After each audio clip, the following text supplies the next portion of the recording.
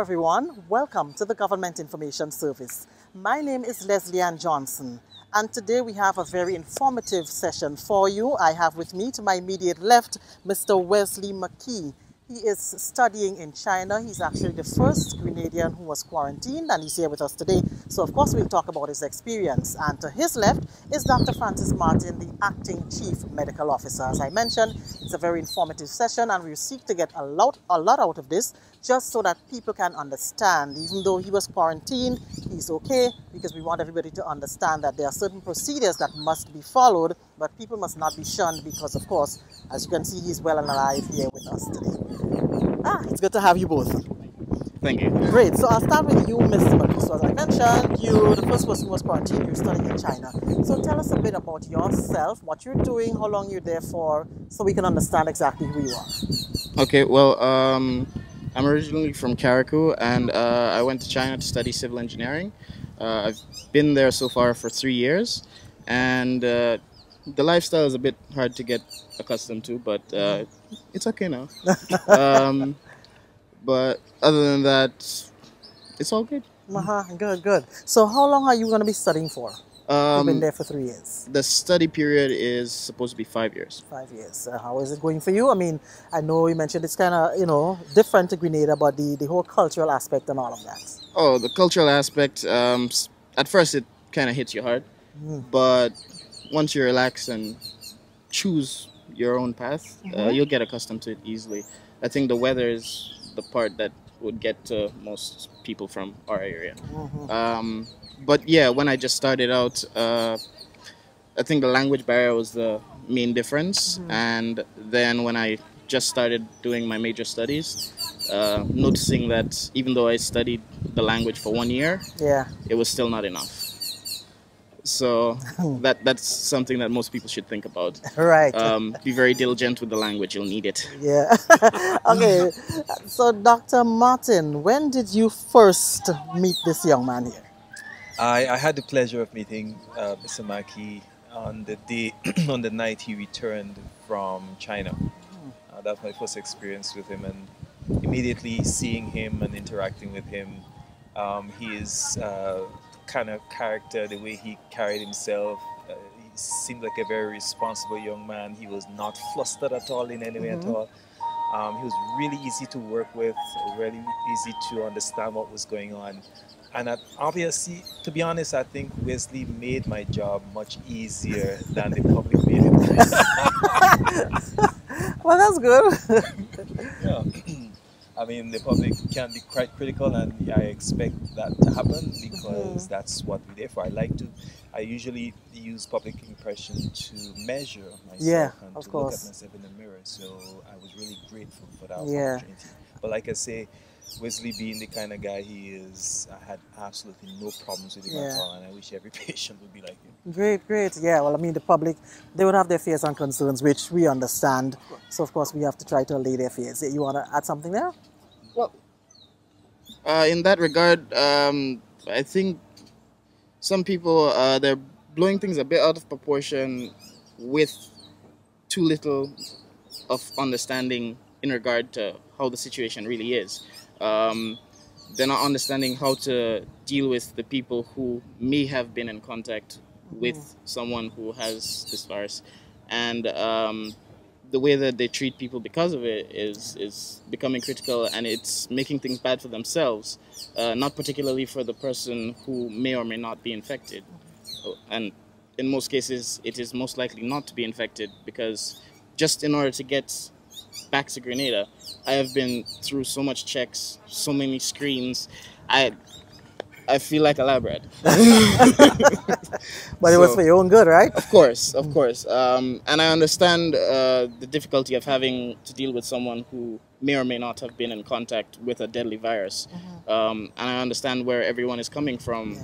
where when people know that I've come from China, the area where this whole thing originated, they take steps back away from me. And I'm not offended, but I just feel like maybe the person should relax a little bit because they're scaring themselves.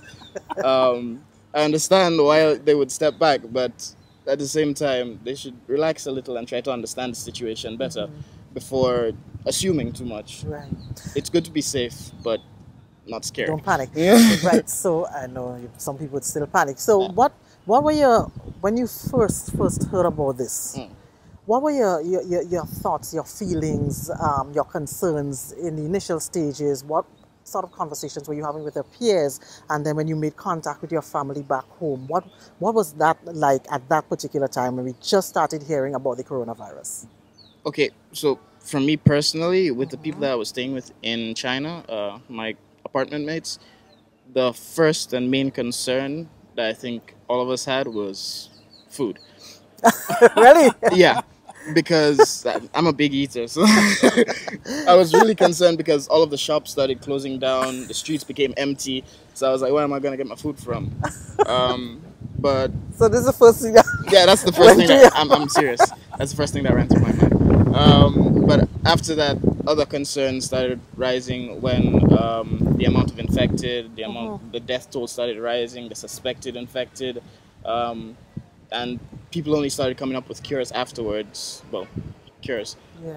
um, and it started to dawn upon us that this is actually something that's really serious. yeah. Um, so some of the people I was staying with, they started getting scared. You know, it's that thing where you're trying to speak to them about it. Just calm down. Let's think about it. Try to understand it before freaking out.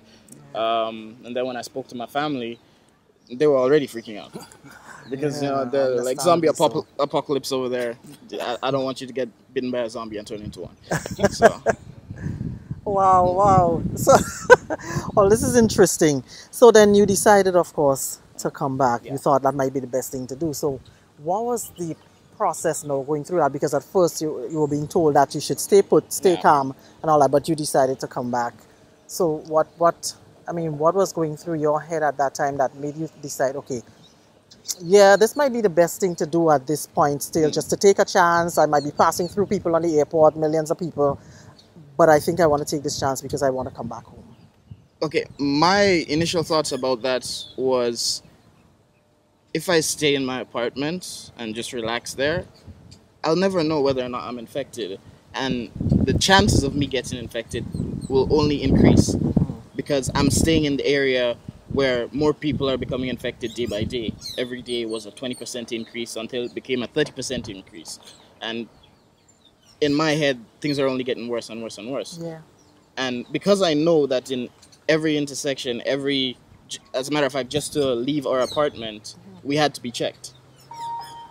To the point where in China, um, for people who are diagnosed and they know they're infected, they've been locking them in their apartments. They're not Wow. allowed to leave.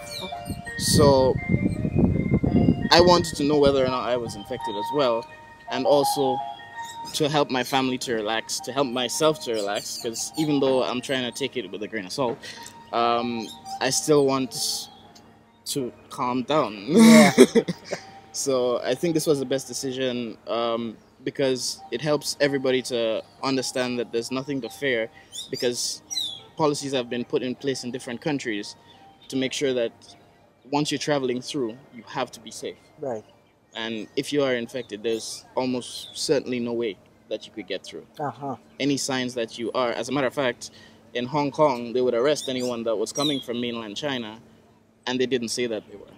Uh huh. Just for not announcing that you came from the mainland, they would put you in prison. So you went through all the stringent procedures before you got here, Of course. and then when you got here, And then when I got here, I, I went straight into quarantine.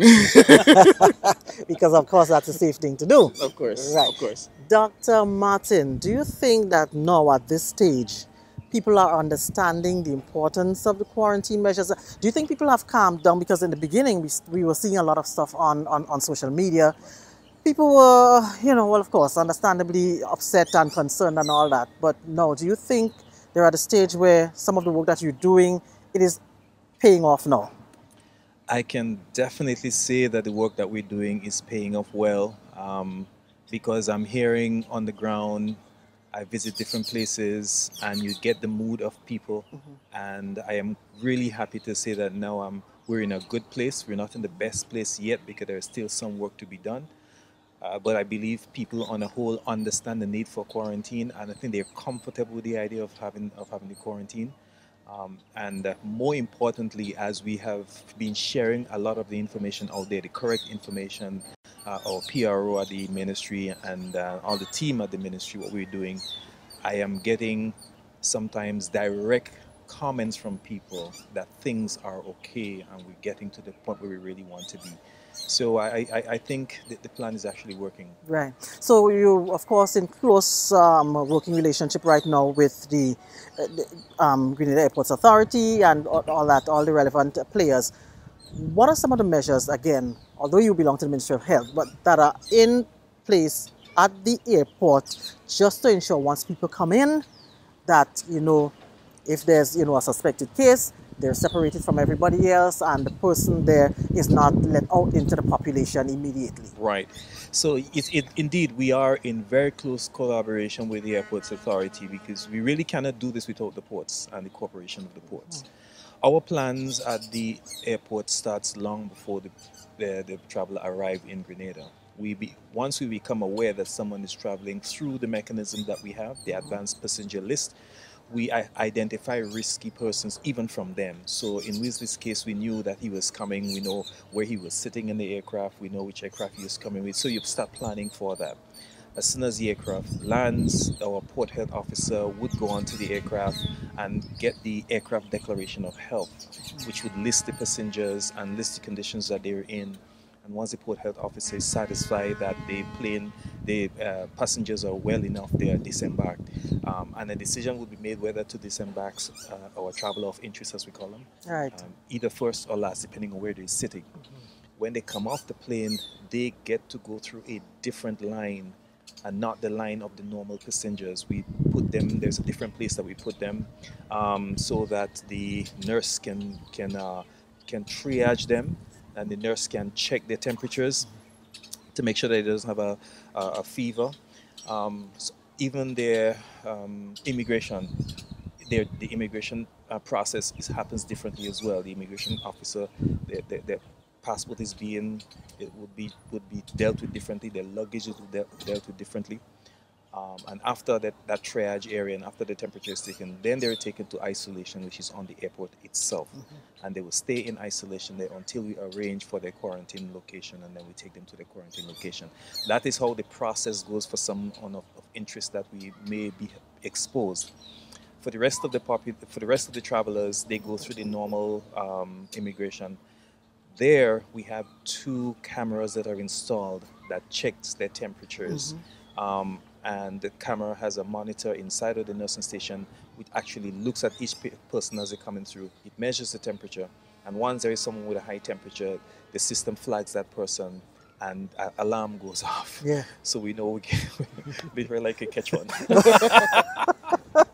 right. Um, and of course, the nurse will go get that person and of course um, get them into triage and also into quarantine if needs be. Mm -hmm. I am quite happy to say so far we have not been able to identify anyone from the regular passenger list that have been have had a fever. People have been doing well. Right. The four persons that we have in quarantine are persons that we have identified even before they landed here, and as they landed, we took them into quarantine. Right. So coming back to you, what was the process like when you got here and then you were placed in quarantine? Was that when you were told, okay, you'll have to be quarantined? Was it something you were like, oh my, do I have to go through this, or you realize that this, this is for my own good and for the good of the nation, just to ensure, because you did say before you left China you wanted to ensure yeah. that you were not infected. So did you think that this was a good thing for you? And what was the whole treatment like, everything, while you were in quarantine? Actually, uh, before I left China, one of my main thoughts was, I hope that Grenada is already on board. Oh, yeah. that, that was uh, one of my main thoughts, uh, hoping that I was looking forward actually to be in quarantine because it's something that I expected to happen. Um, it, in my head, it's something that was necessary um, in order to make sure that I am not a threat to the society mm-hmm. where I come from. So, um, yeah, I, I wouldn't want to be the person that brings the plague up in here. So, uh, uh, that was already on my mind from the beginning. Um, and through the process, um, as I am as my the people who know that uh, I was the first one have been calling me patient zero. Um, I was kind of the person who was used to start the process, so um, it was a little bit of here and there, but uh, we got to uh, comfortable understanding pretty quickly. So I was kind of happy with the results. so. right. So, but do you were able to be in contact with family members? Yeah, I mean, yeah, WhatsApp, phone, um, whatever is the case, you just would not have been able to see them face to face because, of course, that's the purpose of quarantine. like um another part of the reason why I was so eager to come back was because I haven't visited since I left. So I've been away for three years. I'm basically a foreigner right now. Yeah, really? Yeah, everyone says that you've become white, you know, because of the cold. You, you, for- Okay. you don't know our money is plastic now, and I'm just like, okay, you need to yeah, get up to speed. yeah.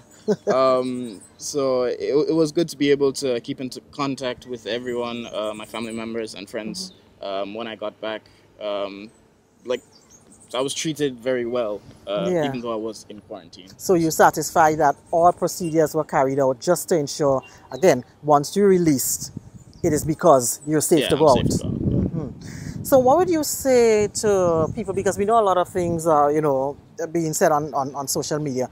What would you say to people now that you've had this experience? Yeah. If you were to write something on social media to help people to understand Mm. the benefits of the quarantine process and the reason why you were happy that Grenada was on board as you were hoping before you got here, what are some of the key points, at least two key, two or three key points that you would make to them so that they would understand, okay, what I'm saying here or my opinion is not necessarily true, Mm. so maybe I should listen to you. Okay. Um, quarantine is definitely necessary. Um, there's no question about it. There's nowhere to build up to that. It's just a point to be made. It is definitely necessary. Even though the person may not be infected, um, they come from a place where there's the possibility. So quarantine is definitely a necessity. So that has to happen uh, for safety purposes. It's it's a procedure that is necessary. I'm gonna put that out there. Use that word again, necessary. All right, that's the first point. And the second point, when it comes to the way to deal with this, my best advice: don't freak out. don't freak out. Just calm. down. Think about the situation. Like, do your research. If you're so scared of something, then you should know about it. You shouldn't let something scare you without looking into it to understand why you're scared in the first place. So you should understand the situation before losing your mind or treating someone like an exile because if you see or meet anyone whom has been to China in Grenada, they have definitely already gone through quarantine to ensure that they're safe. So you shouldn't be backing away from them because the time period has already gone. The tests have been made. They've been checked to ensure that you and they themselves are safe. Mm-hmm. Dr. Martin, what is the state of mind right now of the other? We have three others in quarantine right now. Yeah. so what, what is the level of interaction? What is the state of mind? And I'm sure, of course, the process is similar to. Yes, I am glad you asked about the state of mind because uh, at one of our meetings this week, knowing that Wesley was about to be um, released from quarantine, um, some of the staff members were really concerned about his state of mind and psychologically how he was feeling. Oh, he will, man. Um, and I said, I said, thanks for telling me that because I don't think I thought about that early. The state Okay. of mind, I was just thinking of, in, okay, Health. my responsibility is just to keep the country Yes. safe. But I was able to tell them, you know, from interacting with, with Wesley, I, I said to him, that guy is just the coolest guy ever. this thing is not bothering him. So for him, I don't think he's going to need psychological support. but they still say, man, you should still have a psychologist on board. And I took that advice because it is actually true Yeah. that some people may need to have that psychological support. I'm gonna try. you willing to try it? so um, so my interaction um, with them and, and their kind of state of mind the others are just the same the people are understanding they know what needs to be done i am in contact with them every day And just like Wesley, I think we were blessed that the people that have returned are of the state of mind where they expect this, they understand what is going on, and it's not affecting them psychologically. But still, I took the advice that we need to have a psychologist on, board just in case something like that happens. So I'm, I mean, they have really make my job easy, easy. Great. So, what are you planning to? How long are you planning to stay here for? Because I mean, we know this coronavirus is still in the air. And are you in contact with your friends back home, um, back in China? What are they? What, what are they saying? Yes, your second home. But what are they saying? I mean, of course, they must be concerned. Uh, actually, I've been. I- How to put it? Hmm, I don't think I will be going back. Actually, You don't want to go back. it's not exactly a want, but um, it's it's what can be done, and um, I'm not uprooted from a very well-off family, so uh, it, it's a bit of a difficult situation to deal with. Um, so there's the upside and the downside of the situation, obviously. Um, and I left another life behind when I left there uh, because I have been there for three years. I basically made a new life, um, made friends that were like brothers and sisters to me, um, and I was living with people that I trust with my life. So you know, it's it's a bit of a hard situation to, to grasp for me as well. Um, but in the end, I feel like it was the best decision. Um, and even though it's a bit difficult to deal with, I'm comfortable with the idea that I chose what I did.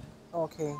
So, Dr. Martin, um, recently you were in post cabinet press briefing, and yourself and the Honorable Minister were spelling out some of the recommendations and suggestions from CARPHA. So, of course, we're just ensuring that we follow all these rules to make sure that Grenada, uh, as much as is humanly possible, keeps the coronavirus out of its borders. The airport, seaport, where have you. Yes, we are in constant collaboration with CARPHA and PAHO, who are our leading public health agencies for us here. And the recommendations that we put in place are recommendations that are standard for our region. So, for example, the recommendation is that at the ports of entry, there is absolutely no need right now to wear PPEs or personal protective equipment, and that once someone doesn't have any symptoms, wearing the mask and using a glove is sufficient. Um, using alcohol-based hand sanitizer, making sure that the alcohol content in it is more than 75% alcohol, and in, I have seen some of the hand sanitizers here that doesn't have it's about 62%, and we encourage people to add some spirits with it, and, or add some rum or something like that with it. Just Just wash your hand with West yeah, the alcohol is going to work. Um, so those are the recommendations. We now are able to test for the virus um, in, in, in, in CARPHA. So uh, for the OECS, for example, we're going to be testing in, in CARPHA. Have the nasopharyngeal swabs that we use to test. So we're going to, our response would be standardized and be based on the threats that we have. Although the coronavirus, the alert and the danger is very high in China and some other part of the world, after CARPHA looks at everything, they have graded our ri- risk as low. They have still graded our risk as low because the virus is not circulating in the region yet. The last two cases that we have actually was the last two cases in the region, Jamaica and, and St. Lucia, both um, turned out to be negative. So we're still doing very well, and we're following the recommendations of our lead public health agencies. Right. So he's here with us. He's good. Thank God. And we have about three other people in quarantine, and we hope that they're okay. But in the event that somebody should come back in the future and this person tests positive, how are we going to deal with that situation? we deal with it based on the information that we have. If we have prior information that that person tests positive, then the processes would change at the port of entry. Um, the way we take them off the plane, um, what we do with them. We're going to take them in a different line, as we said, manage their luggage, manage their immigration purposes, triage them, put them in isolation at the airport itself. And then we will not put them into quarantine. That person will be transferred to the isolation unit at the general hospital. And there they will be treated. At that treatment site, the healthcare providers will wear full PPEs, Right. just like you see in China and other places. And we do have those PPEs on island. Um, and uh, of course, the symptoms will be managed until they're well enough um, to go home. And that's really how we're going to do with it.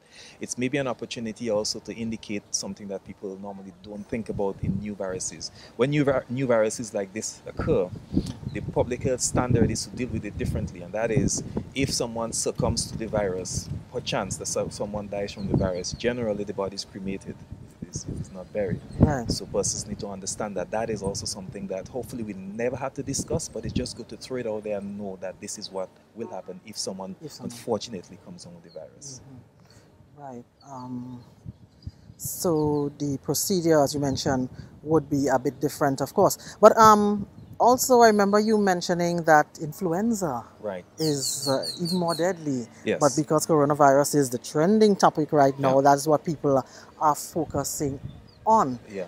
But um, is it a case where people are understanding that, yeah, while coronavirus is, yeah, the focus, are they understanding that there are other um, situations that they should be wary of as well? Yeah. When I started to speak about that context, um, some persons weren't happy with me making that statement at all because they just wanted in uh, Corona to be whatever the be the big bad how you call it apocalypse or something like that. Yeah, the apocalypse. Zombie, zombie apocalypse. Yeah.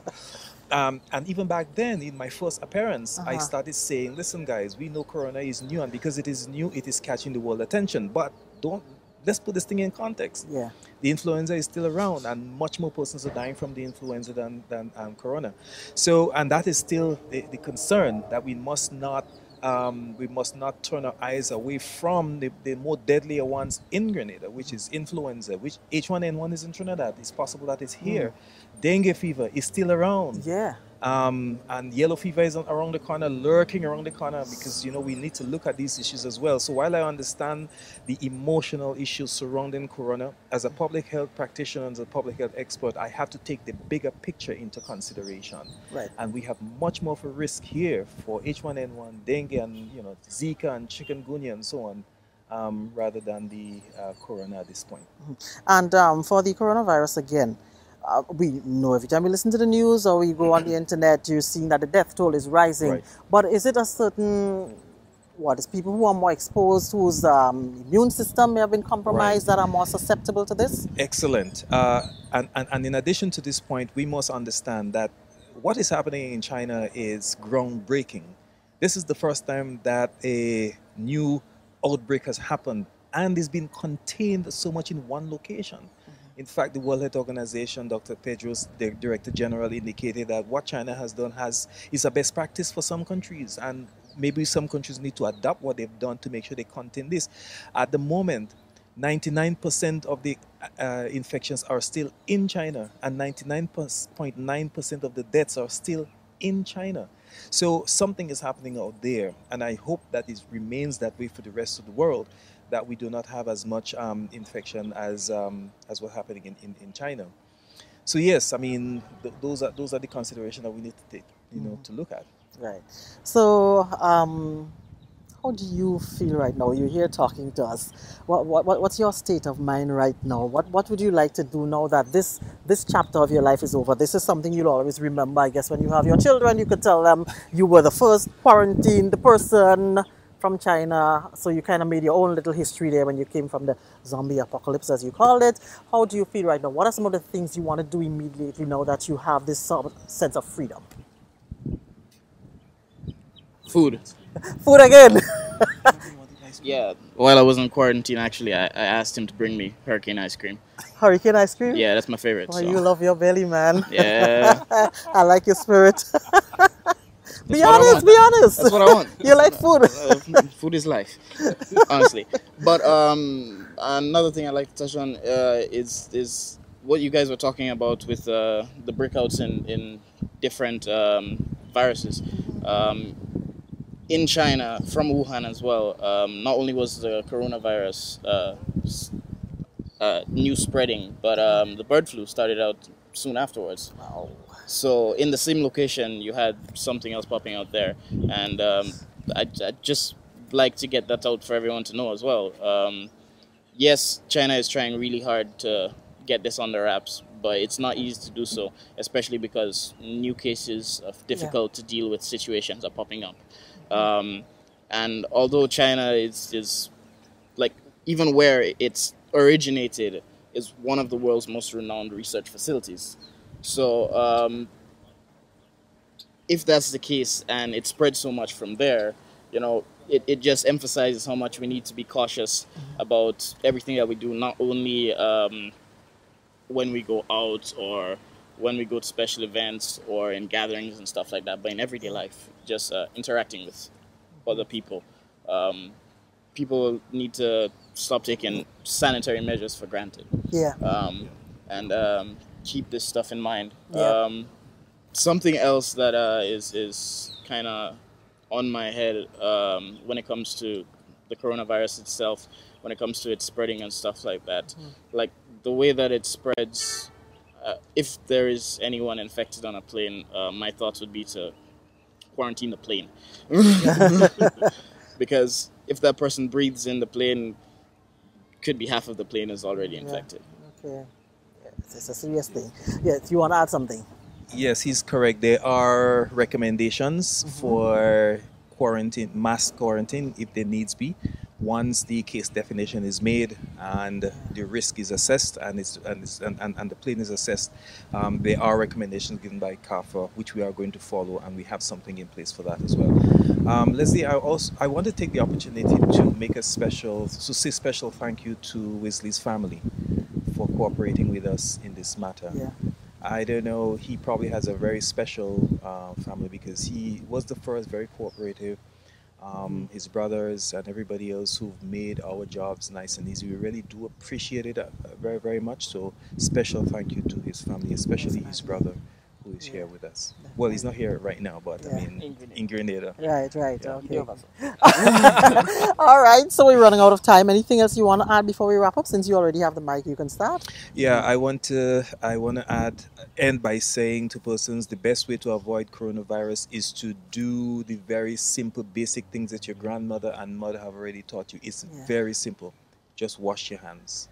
Keep yourself take pay attention to your hygienic needs. Yeah. It is so interesting that for most public health risks that we have out there, it has to do with cleanliness. It's interesting. Basic.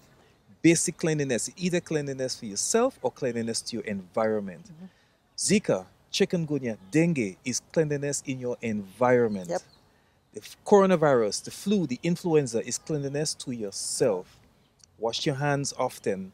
Um, if you cough or you sneeze, do you know cough eti- etiquette. Cough in your elbow, sneeze in your elbow.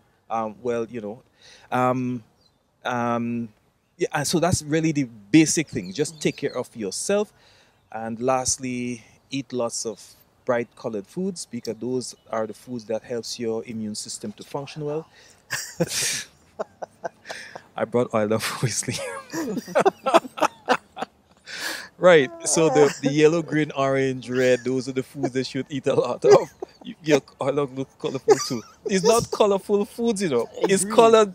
It's co- co- He just loves his stomach. so that's what you do to keep your immune system up and running Yeah. to prevent you from getting the coronavirus. Definitely. Wesley, any final? We got the point about food. Okay, okay. we know you love food. Okay. Um, I just want to put out one concern that I've had since I've gotten back, and uh, I've seen the difference happening here in the way that uh, locals are treating the Chinese population that's here. Um, And most of the Chinese people that are here have been here for a while. Um, yes, uh, there's a lot of people who are concerned about the issue that had happened with the plane that came in with uh, the Chinese individuals, but aside from that, there are many different Chinese people on this island right now, and they have been here for way longer than the coronavirus has even started. So I- I'd appreciate it if everyone treated them as just another part of our society instead of treating them like if they have a virus. All right, so thank you so very much, gentlemen. We've been speaking with Mr. Wesley McKie. He's to my immediate left, a student. He's been studying in China, and of course, talking to us about his experience while being in quarantine here. And of course, to his immediate left, Dr. Francis Martin, the chief, acting chief medical officer. And I'm sure we got a lot of information out of this interview. And as was mentioned, let's just treat everybody with respect, irrespective of what we may feel right now. Treat everybody with respect, and of course, just pay attention to our personal hygiene. Thank you so much for viewing. I'm Leslie Ann Johnson.